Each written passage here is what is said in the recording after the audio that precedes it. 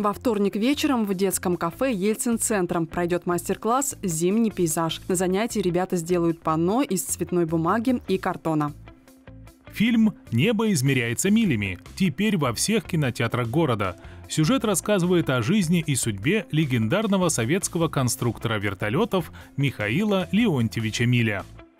25 декабря в концерт-холле «Свобода» пройдет грандиозное событие уходящего года. Группа «Люкра» и «План Б» исполнят хиты русского рока и не только. Вас ждут танцы, шоу, тусовка, любимые песни, под которые хочется подпевать и танцевать, невероятные перформансы и взаимодействие с залом. В среду вечером на сцене театра Тургенев пройдет спектакль «Кушать подано». Это легкая комедия, в которой царит веселая неразбериха. Одна анекдотичная ситуация сменяется другой. Все настолько сбиты с толку своими же уловками, что все происходящее принимает форму веселого абсурда. Зрелищность и динамичность, юмор и яркость подачи дают зрителю прекрасную возможность отдохнуть и получить позитивные театральные впечатления.